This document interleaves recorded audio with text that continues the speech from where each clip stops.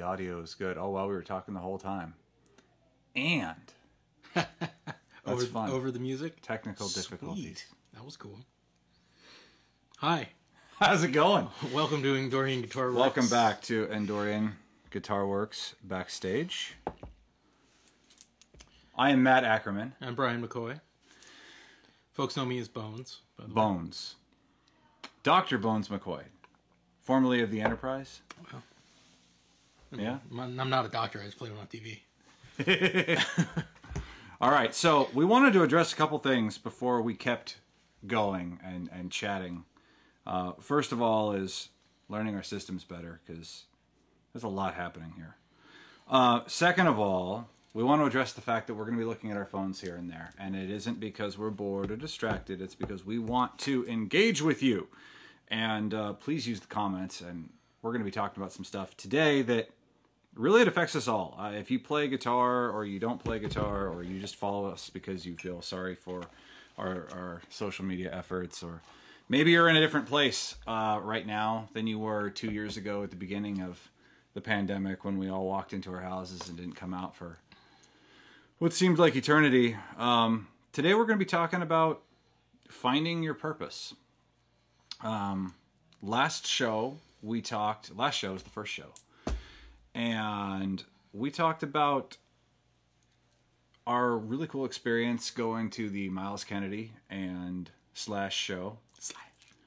and um, sort of the undertones of that show were like all about how we combine, how you can combine musical styles, and um, I thought there was some good conversation, especially from the audience on that one. So we wanted to cover what's that? Dolphinately. Dolphinately. Dolphinately. So let's cover some more housekeeping items. Um, we wanted to give you a clear vision of what backstage actually is, right? So we put it on the screen for you. It's a guided look at life Experiences.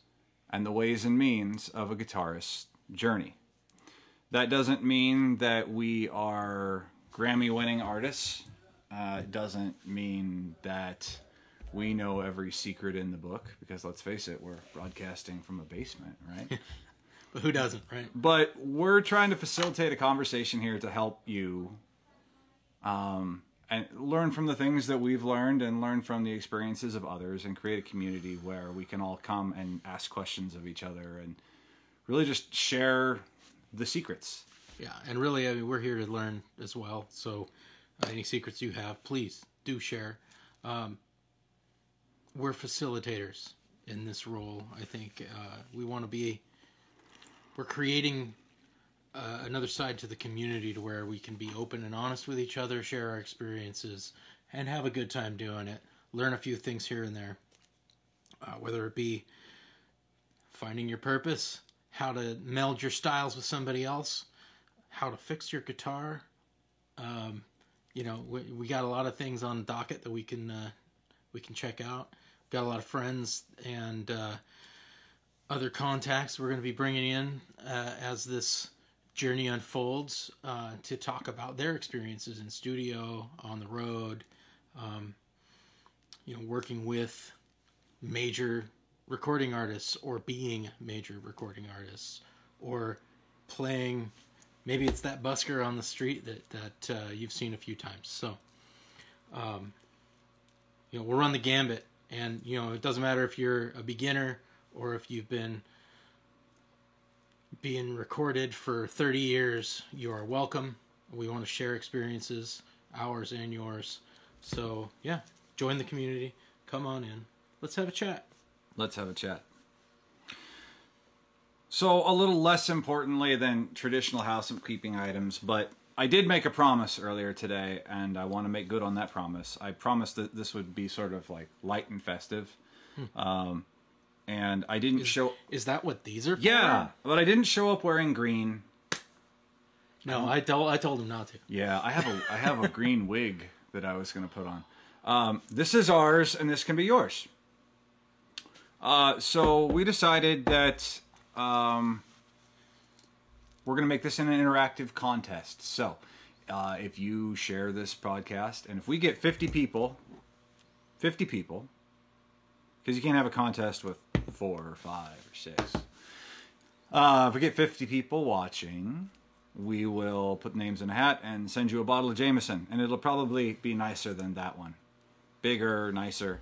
And Well, if that's pretty nice. I understand. It's, bottle of Jameson's nice. And to be inclusive and respectful of people's choices, if you're not uh, an imbiber, that's cool too. We'll find something else of equal or greater value uh, to send your way. Cool. sounds good. Right on. So let's get down to it. Um, I put out a poll and I said, What do you want to talk about today? I found myself on an airplane a couple weeks back reading a book that I should have read a long time ago. It was given to me by a new friend that I made, uh, actually a, a sister of a family friend who is now my friend, and it was a auto uh, Mark Lanegan's autobiography. And I found myself reading this book. She gave I, we visited in Chicago in last August, and uh, and she said you should take this book and read it. And um, I started reading the book, and then I didn't really have a chance to get very far into it. But I had this plane trip a couple weeks back, and I said I'm going to read this book. And my God, what a page turner! And as I'm reading this book, I realized that that's that was episode two. Like you could just talk about Mark Lanegan you Good. All Es- day, and, Especially and since we're somewhat connected to him because Somewhat. we went to college where he grew up in Central, uh, in Ellensburg at Central Washington University, is where we went, where we actually met. apologies if you're not familiar with Mark Lanegan. So you know him from Screaming Trees and uh, Queens of the Stone Age. Uh, did solo stuff. He worked with quite a few bands. Um, Mad Season. Mm-hmm. So So as I started piecing together thoughts for that show, I realized that that was going to take a lot more prep work, and it wasn't going to be episode two. So episode two, um, I put out to the crowd and I said, "What do you want to talk about?" And um, by and large, people came back and they said, "I want to talk about purpose, or I want to talk about how do I know what I should be doing and what is right." Um, couple different ways of saying the same thing, right? And somebody said they wanted to talk about what why uh, why everyone hates poison. uh, it's not just CC DeVille. I'll tell you right now. I don't think we're going to do that on episode two.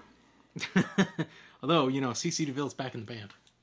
Yeah. Yeah, that's what I've heard recently. They're going to go on tour. So if you're just joining in, oh hey, Chris Moore is on. Chris Moore is a very awesome guy. He uh, is the father of one of my of my best friend growing up from uh, from elementary school. What? No comments? Yeah, no kidding. Come on, guys. Chris stuff. Chris was my insurance agent for a while, and um, and he's retired now, so I had to find a different insurance agent. Well, that just means he's got time to send us some comments. It does. It does. We should have some comments, Mr. Not, Moore. not meaning to call you out, sir. I don't know you that well, probably, but uh, you know, again, we're here to have fun. This is gonna be a light, a light episode, or lighter episode anyway. Um, I'm going to hold my guitar for part of it because I don't like being on stage without a guitar, and this makes him uncomfortable. Um, so finding your purpose, I think this is really timely because honestly, I thought that maybe it was just me being I don't know. I've always been kind of a dreamer and I've always found myself in positions and and you know, doing one job or doing another job or striving for one goal or falling short and and asking myself am I am I am I messing up? Am I doing it right? Am I not doing it right? What am I doing wrong? And why am I actually here? And of course this is really, you know, amplified in the in the pandemic. Here we are coming out of and you know, how you feel about the pandemic um, this isn't a conversation about healthcare or politics or anything that you want to make it be, other than shit changed in the last two years, no matter what. And um, you know, I found myself working from home, um, taking on roles that I would never have ever imagined, or even, um, you know, taking jobs like knowing like going into a certain work climate. Would I've even signed up for that? Um, even you know not even relating to health um, to what was going on in the health of the world but just how we choose to do business, how we have to do business, how we have to take care of our kids. And I really found myself agonizing over this. Wow, do I need to make a change? What is my calling? What is my purpose? And it wasn't until I had a conversation with like my doctor, um, where even he, like, we think of doctors as leaders and people that we trust, um, people that make a pretty decent amount of money. And uh, he looked me straight in the eyes and he said, You're like the fifth person that I've talked to about this this week. And even I am, he was thinking about leaving his practice to do something that was more meaningful to him. And I thought that was kind of a big statement, you know? So that that leads to question: Is that why there's been this whole, you know, exodus from work? Like people leaving their jobs that are where they feel underpaid and and undervalued um, because they're realizing, hey, there's other things that are more important than that work. Yeah. Um, I know for me, when this all started, I kind of embraced it fully and took advantage of the opportunity to do more things around the house and got some projects done. We've been, my wife and I have been working on our home for quite some time uh, since we moved in, you know, doing renovations. That ended quickly. Uh, and, you know, I was, I was splitting time working from home and, and working in the office. And we ended up going back to the office full time the first time around when things kind of were clearing up and getting better as they were.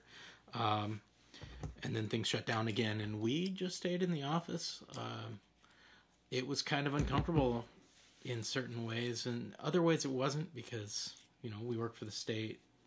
There was the mandates that people were uncomfortable with, so that was another level of uncomfortable. But we knew that everybody coming in, being state employees, because our front office is open to state employees, other agencies to come in. We knew that they were going to be vaccinated, they were going to be safe, they were going to be masked up, whatever. So that wasn't really an issue. But there's it's all the weird stuff that you don't think about happening that ends up kind of getting to you. Yeah. I think over time. And you do start questioning when you have all these unknown stresses kind of just pop up or stressors that have been there for a while but they're underneath these larger ones and they kind of come to the surface. It can really change your perspective and make you question things. Yeah. So purpose and how it relates to so you know we talk about how it relates to just the average Joe and then but as a musician like what's it do for you right you know someday I'd love to bring a touring musician in here and say did you ever doubt your purpose or your calling as a as a touring musician as a professional musician when when there were no shows Yeah. right Guarantee they say yes. for me, I found so there was this interesting thing that happened to me. Like every time I look at what happened over the last two years, I've it, it's really easy to look at the downside, but I also realize how it played out in my life and where it actually was timed quite nicely. Um, and I mean that with respect and, and honoring everyone who suffered. Um, but in about 2019, I had this I was still questioning my purpose and what am I doing. I found myself I've been an office worker of over 10 years by that point and you know, I picked up a guitar when I was 14 years old and I played and I called myself a musician and a guitar player and this is my identity. This was my entire identity. I didn't want to do anything else. Um and then from about the age of 18 or 19 on, I just made safe decision after safe decision after safe decision and became a person that I didn't even recognize in the mirror anymore. And then I had this ability, you know, people would say, "Oh, so you play guitar?" And I realized that really what I was is I was a guitar collector. Like they hung on my wall. But I didn't really play them. And so this was my opportunity to redefine my purpose and say, okay, well, you're home a lot now and you're working and you're taking care of family and you're doing everything, but maybe you can carve some time out for you. And that's when I, you know, not literally, but that's kind of when I lit the guitar back on fire again, right? Well, there was that one. there was that one. Yeah. We'll have to show that at some point here on uh, on your Endorian Guitar Works page. Did I light one on fire? That I forgot? Or were you going to? Was it this one that you were going to? Oh no, I did light one on fire. It wasn't this one. Uh, killer, Point is, is that- killer finish. Just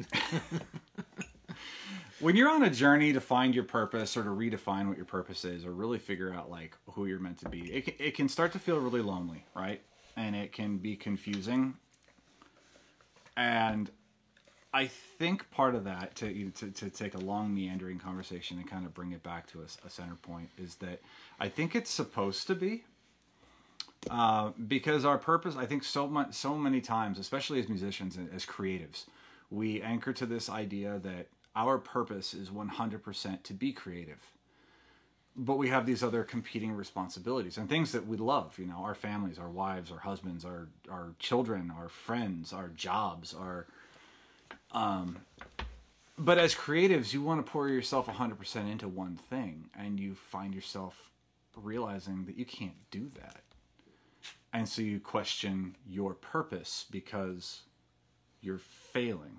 You've taken 100% of yourself and you have to spread it over how many responsibilities. And if you can't give 100% to everything, it feels like a personal failure. so then, how is it? How can you find that place to where you switch gears? For me, it was recognizing that, like, your purpose is more how you are actualizing what you're doing as to where you're aligned in the moment, right? You don't have to have one this idea that my purpose is to be a guitar player or my purpose is to be a father or my purpose is to be a husband. It doesn't it's not 100% all the time in that moment. Like when you are present with your children, your purpose is to be a father. When your kids go to bed or you know when you have that minute to sit down and be a creative, your purpose is now to be a guitar player. And you can sort of once you start to realize that like your purpose is sort of a moving target, it's not this static state of being, right? Where where this defines me 100% of the time. Um, but it is a fluid thing. It is a moving target, and as long as you are adaptable and are able to be present and notice when your body, when your mindset uh, is switching gears naturally, that you're able to flow with it and be present in that moment. And sometimes that means putting down the guitar, and other times it means picking up the guitar. So do you think it's relevant to say that you can have a greater purpose, like an overarching purpose, like a purpose to serve, that can change what that means can change? Totally. Was it? Yeah, I mean that's like the whole. That's the whole reason for this, right? Right. Um, you know, if I think uh, anyone in my life would tell me would would say that I was probably supposed to be a teacher, and I didn't want to be a teacher. Uh, I wanted to get as far away from that as I possibly could. Um, I wanted to be a musician, and then I chickened out of that because there wasn't enough money in it, and I let too many people tell me that you needed to have a a day job if you want to make money, if you want to support a family. Um, and I'm 40 now, and we cooked up this idea that, well, what if we could educate just sort of in a different way? That's what this whole community thing is about. Um, what did you say? We're not Well, high. I was talking Um, about you know having a great the greater overarching Yeah, purpose and greater how overarching the, purpose, how yeah. the definition of that can change over time. So like you and I are both have day jobs. Mm-hmm. We serve in those roles. Um, in some way that that's a purpose, right? To Yeah. serve and and we use our careers Service. Thank in you. service. However, I'm going to sit here and tell you that service is important while forgetting that the question was about service. It's but very fact- important, It's yes. true. But like as a musician, are you not also serving a greater good in that you're bringing art and entertainment to people, Yeah. right? Um, so like you can have a greater overarching purpose Mm-hmm. that ch- the definition of it changes as you're going through life at different points in time. You're serving your children when you're being a dad. Yep. That's still service. So, And service can still be, you know, like uh, I, I, I already know the conversation. If if there were people in the room right now, I mean, there's some people. What's up, Ron Archer? Man, I am so glad to see you on here. Yeah, we're gonna try to crush it for you. Ron. Um, because this can I mean, this this this can only go so far, right? You have this conversation about creativity and purpose, and like, if we all lived in this happy world where you didn't have to be money and you could do whatever you wanted, and blah blah blah blah blah. But eventually, you know, fin- finances come in to play, and like service, I think is is you know, if your purpose is service, I think your mentality probably goes to this place of you'll never, you will always live in scarcity, and you mm-hmm. will not have the means to do what you want to do. You will not be able to afford the vacations. You will not be able to afford the car or the opportunities for your children, right? That that that you see big business people going after all the time. And I would challenge you to like reconsider that notion. Um, there is so much there is so much power in service and this idea that like if you give it away right? Like there's knowledge out there. Like there a lot of this conversation that we're having right now is just based on experiences and it's anecdotal but a lot of it's going to resonate with somebody. And that will keep people coming. Sharing that and and and ignoring this idea that that they're that that something has to be profitable in order to be worthy. Like service is huge because when you serve somebody, you lift them up and you give them the tools in order to build their own thing, right? So, I don't know. I guess being in a being involved in finding your purpose within service does not mean that you're putting yourself in a corner of never being profitable or not being able to afford things. It just means that what you're doing is you're bringing people along with you on your journey mm. to success. Mm. It's truth. Poke holes in that. Do it. I would love somebody write a comment and tell me why that's wrong. I I would like to think too that if you do have a have your grounding in service and you're a musician, that you could serve the art. You Yeah. can serve the the instrument, serve the music, and and you then you don't necessarily feel the need to, you know, become wealthy off of it. I know for myself, the band that I'm in, you may or may not have heard of Gunslinger. Matt and I have both played in in that band. Thank you, sir. I need to get- learn that. Wow, wow, wow. yeah. That would be perfect for Gunslinger. Um, you know, we we didn't go into it trying to make a million dollars, and we we find it really cool that we sold a CD to Russia, you know, or to, to Shit, Finland, dude. not to Putin, Yeah, yeah. rootin' tootin' Putin. Um, no, but you know, we're big in Germany apparently, um, just like David Hasselhoff. But it's not about the money. It's we're fortunate enough to have enough money to be able to sustain ourselves through our careers. Uh, my my guitarist Jim and I founded the band. Jim had written a couple of tracks and and his his purpose is his day job.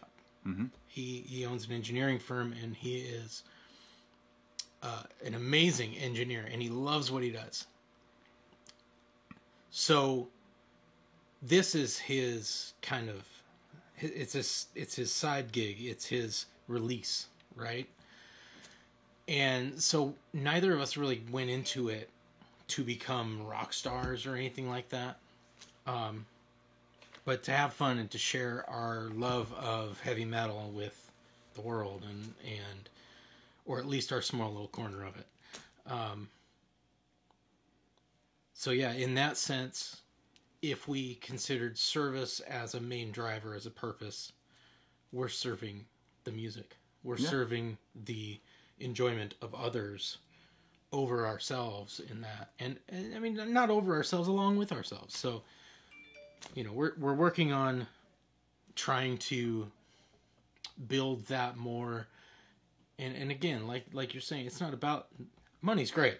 Don't get me wrong. We want to get paid when we play a show. We're going to sell CDs but we're not expecting to become this overnight sensation and end up with a huge record deal and and all this other kind of stuff. So we're gonna play the music regardless of that.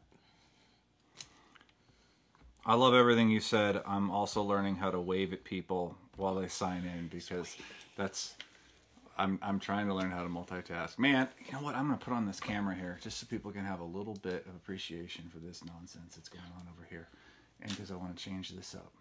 Yeah, look at that. Yeah. That's our this setup. is this That's is what we're looking This at. is what's going on over here. Eh, that's probably not even. You know, is that even important?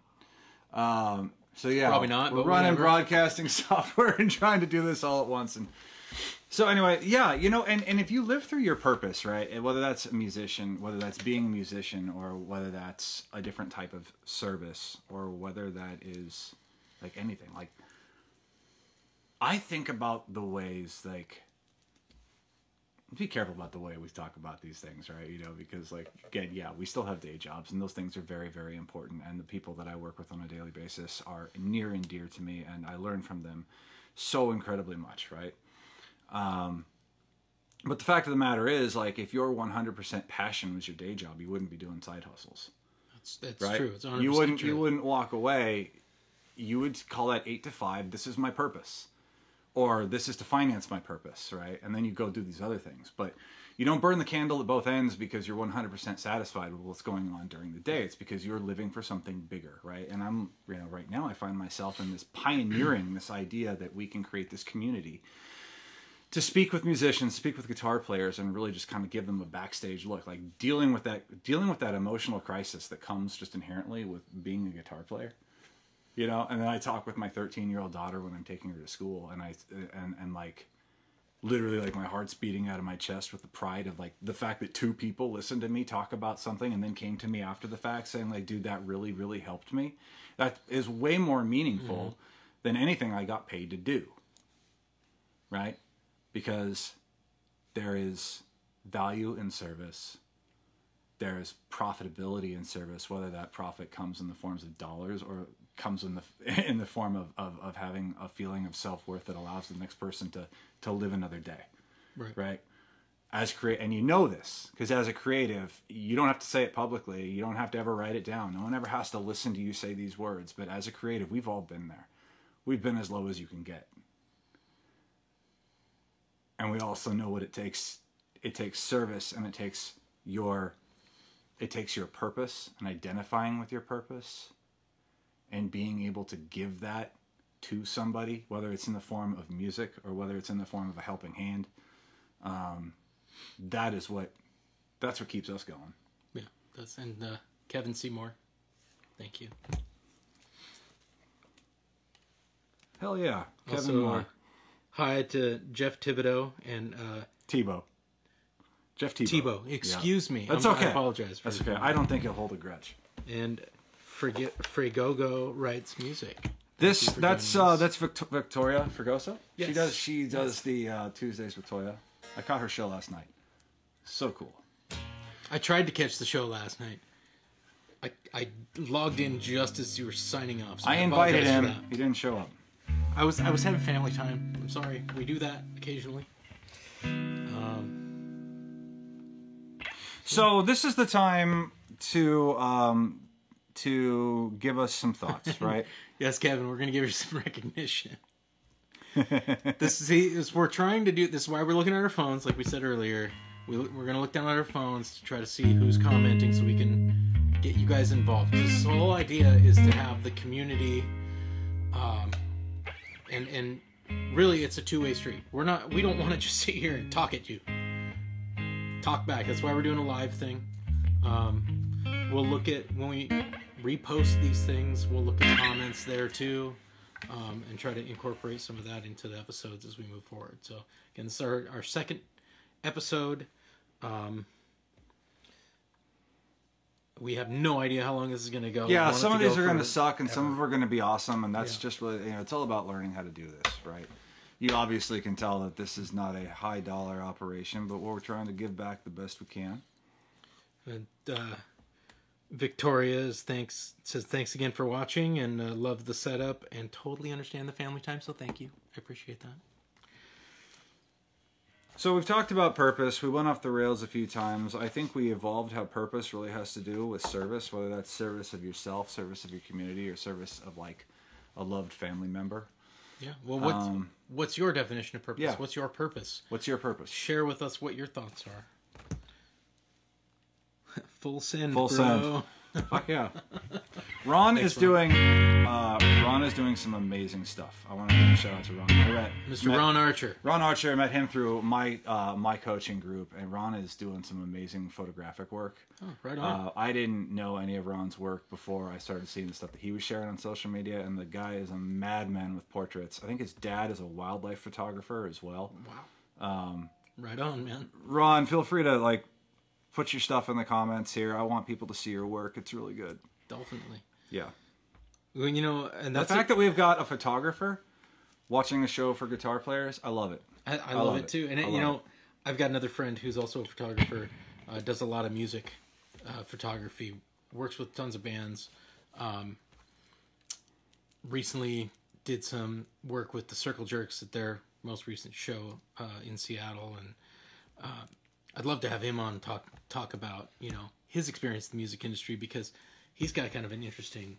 Uh, interesting perspective being behind a camera Yeah. in front and behind the bands Yeah. during their shows. So, um, appreciate you too, Ron Archer.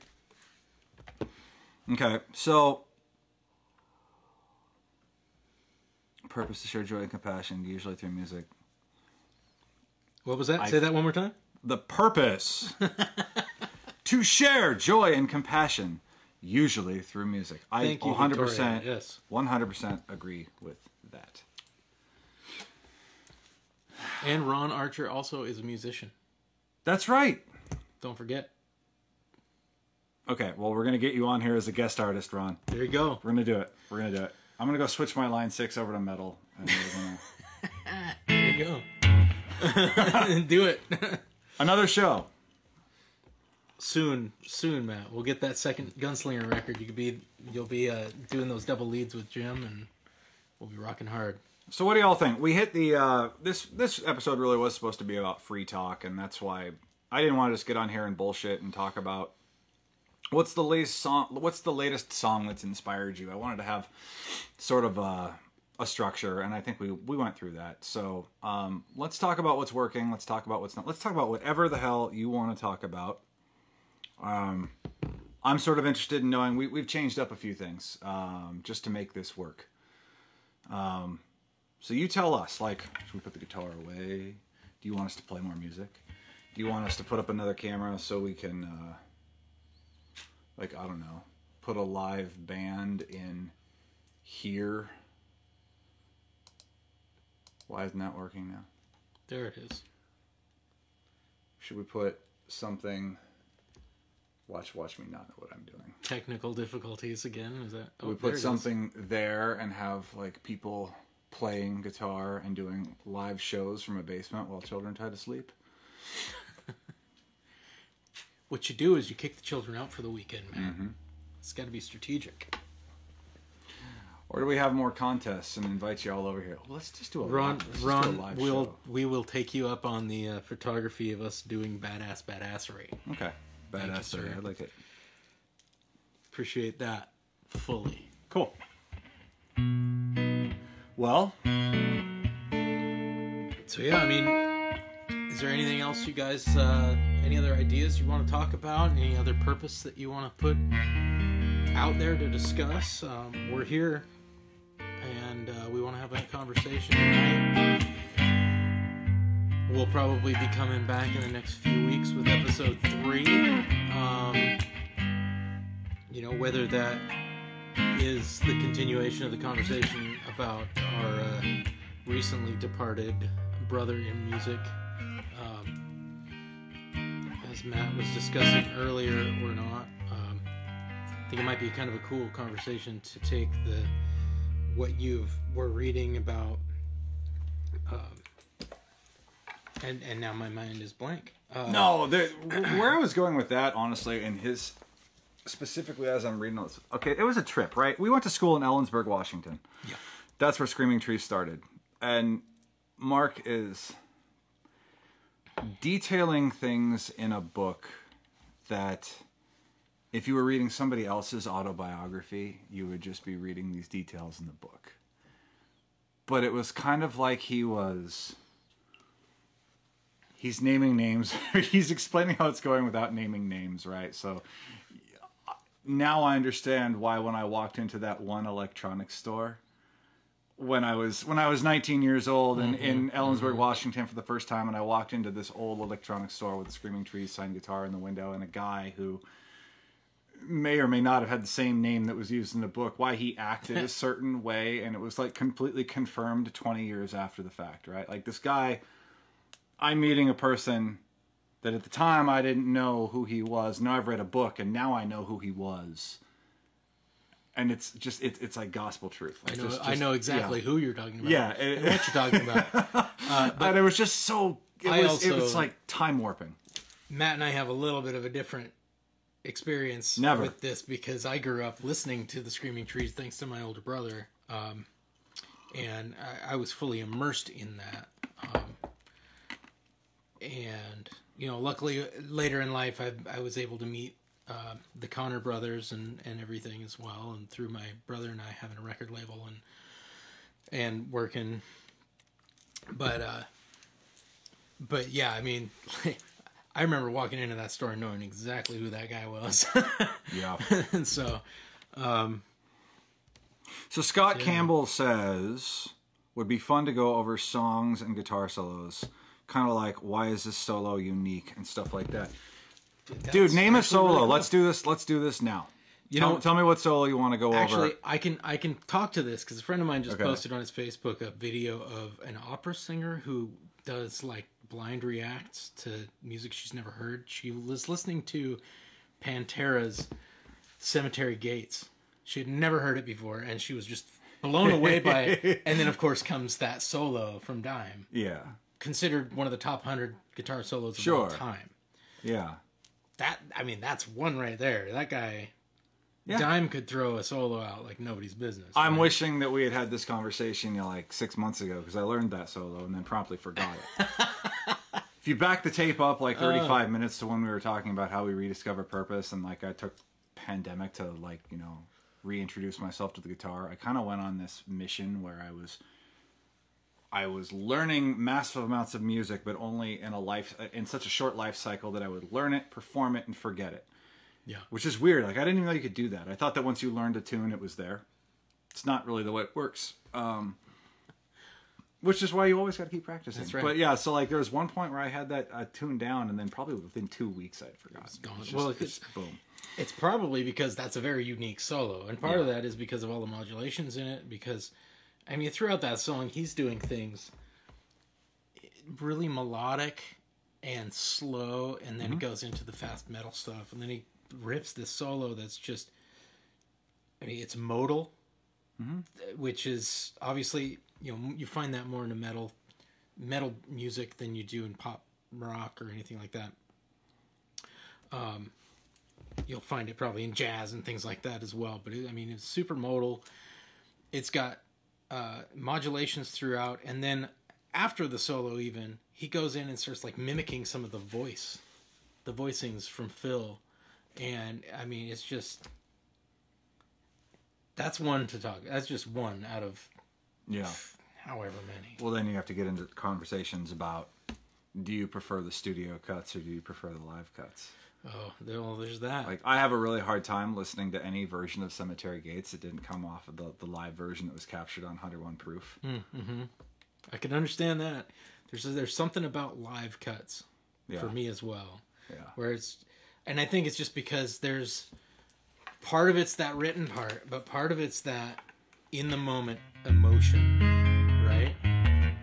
You can't mimic that in studio at all. In studio it's very in studio everything is very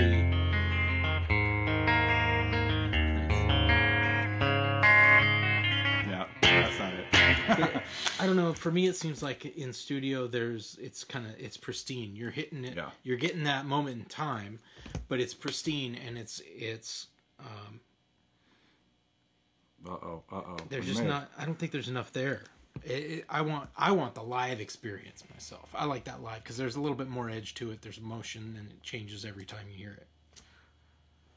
We might be losing our feed. I can't tell.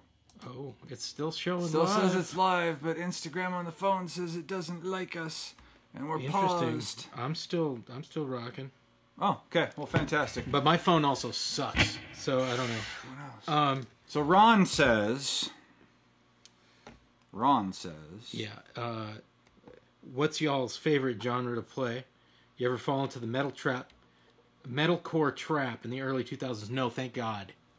Um, I'm a traditional metal punk rock guy, classic rock guy. I grew up with the oldies, singing under the under the dock of the bay. Um, you know, my favorite. Oh, now there it goes. Seems good to me. No, All right, cool. Um, my favorites, the kind of right now anyway, is really the sludgy, kind of stonery metal, um, doom, that kind of thing. Uh, although with our band Gunslinger, we play traditional '80s uh, British new wave metal. So it's uh, not new wave. Uh, Yeah. uh, the um priest maiden style um, and we are going to be working on our second record we have a couple tracks done we're working I'm gonna sit on closer to you because I'm Ooh, let's get close um, too far off the screen. We got a couple tracks done. We're introducing matt as our third guitarist on this record hopefully. Um, our- we need our fourth and our fifth guitarist though. So like, if you want to, if you want to be a fourth, or, no we only need we really only need three. I mean and i'll be only playing part-time probably. Um, it sounds like my brother might be coming back to play bass at least partially. So but um have to save this for a different show, or we're gonna have to introduce all the characters. yeah i know right So I grew up listening to like all the right and the wrong kinds of music. Right? It was it was, it was such a trip growing up. Um, I. Oh, it's going to sound so disrespectful because I know it's really through the eyes of you know what I remember as a five and a six year old. But you know, I, I, I you know, we had Wham Yeah. and uh, and Billy Joel and Michael Jackson. you you can't you can't be mad I'm not mad. I'm not mad. But so I'll tell you guys a fun story about about when I knew I wanted to be a guitar player, and this probably should have come up way back in purpose, right? was it was this prince It was not Prince. oh because damn prince It was um, hearing the Beat It solo for the first time, and of course I was a kid, right? So I Ah. had no idea that this was Eddie. dweezil zappa what? wasn't that dweezil zappa No, it was Eddie. Oh, Eddie was on that one. Yeah. Dweezil was on. Uh, uh, what was it? What was the other one? Dweezil was on You one got of me. I have to go fact check now. So I wanted to play guitar. No, I was in you're like right about kindergarten or some shit like that, and of course I'm not. I'm not getting a guitar because you don't buy a kid a guitar. You should, but you don't. um, so my dad did the best he could, and that was uh, walked out into the garage and got a couple pieces of plywood and nailed them together and got a probably a two by four. It was probably a two by two, and he nailed that to the plywood and we cut a hole in it and then a bunch of nails.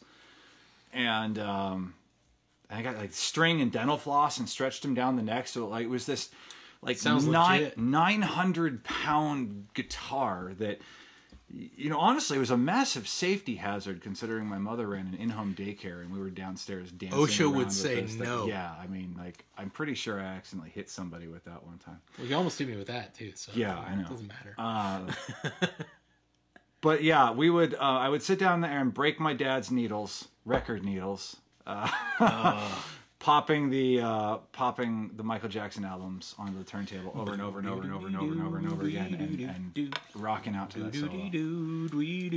And from there it was, you know, just just the hits that were on the. I remember uh, falling in love with Tom Cochrane's "Life Is a Highway" before it was bastardized by Rascal Flatts, and Thank you for pointing that out. yeah, and then it has a good beat. But and then when I finally learned okay, so like I can't I'm gonna make a global confession here. Like I didn't discover Metallica until Load was coming out. Uh, But I walked into Tower Records in Seattle and I walked in there and bought ...And Justice for All. and the first song that I learned how to play on the electric guitar was one. Yeah. And then now I'm just kind of I'm into anything that sounds like the vocalist is going to scream but doesn't. Like I love it like when the guitar lines are super super super super heavy but there's still a melodic presence to it. Um, that's probably like Ozzy in me, you know. That's where that's coming. I love Avenged Sevenfold and then obviously I've been spending a lot of time playing bluesy stuff. Right, Stevie Ray Vaughan uh, lives in me, and I will never be able to be that good. But that's uh, that's what I feel when I'm playing. Is I feel the ghost of Stevie. Yeah, I think I like I'd like to feel the ghost of Jimi. Uh, Jimi Hendrix has kind of been one of my big Yeah. early influences, but I don't think I'm that good. Um, that said, I have a great time with it. I'm not high as he was, uh, but yeah, I do a good a good enough job, right?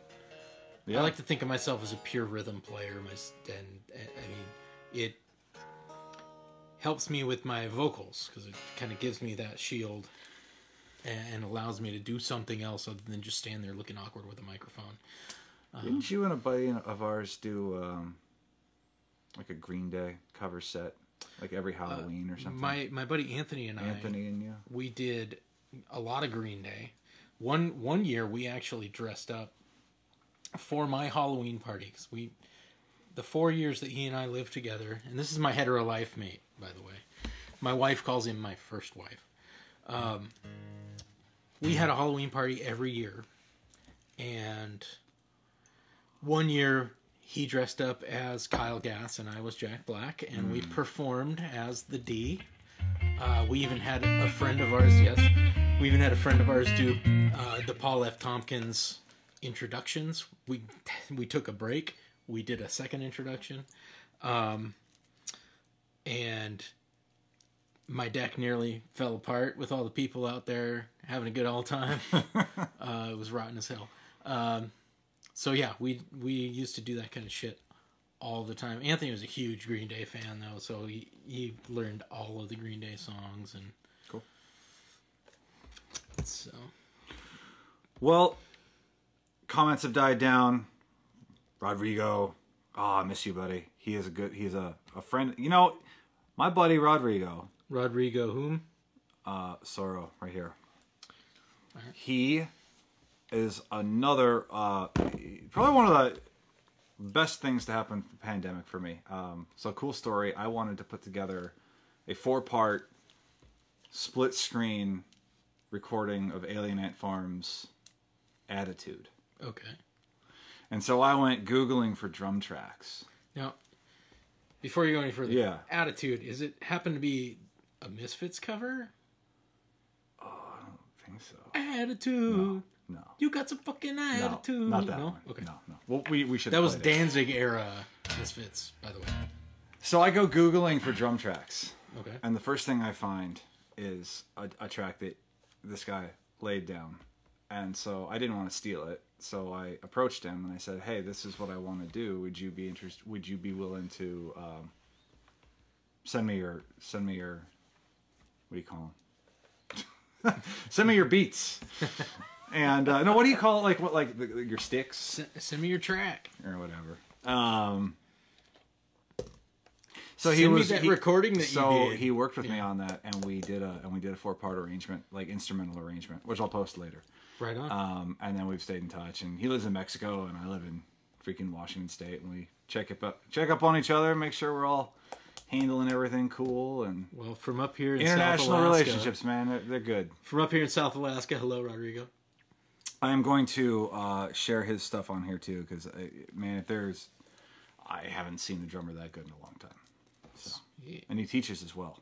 So, so I think we're going to go ahead and wrap this up because uh, it looks like everyone is done. Well, we want to thank everybody for joining us Yep. tonight, giving us some ideas, having a little chat.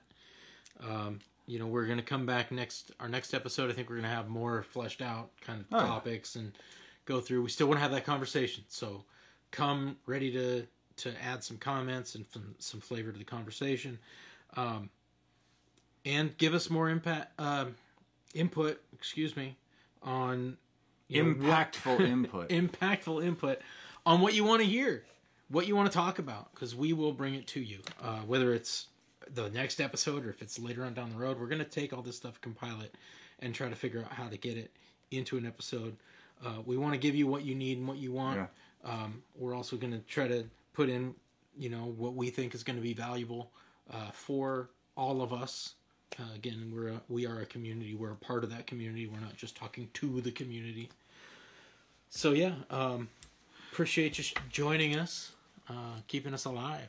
I like Scott's idea of deconstructing some guitar solos. I think that's something that we can also do like pretty reactively. So while we're planning, while we're planning bigger shows, we can still kind of go live and do actual like technical work. Um, Yeah, yeah, we could you know sure. tear down some guitar. Hell, I'll, this thing is acting weird for me. This stupid five way switch on the Strat that I built. This is my favorite guitar because I built it myself, but the switch sucks. So maybe I'll take this thing apart and go. show you all how to wire it and. Um, and then we'll put it back together episode. and then we'll put it back together and we'll work on like all along the watchtower or something. Sweet. So I like that idea. right on. Happy St. Patty's Day. Don't forget, fret less, rock more. Fret less, rock more, and uh, have a designated driver tomorrow. Yes. No bullshit. All right. Love you all. Peace.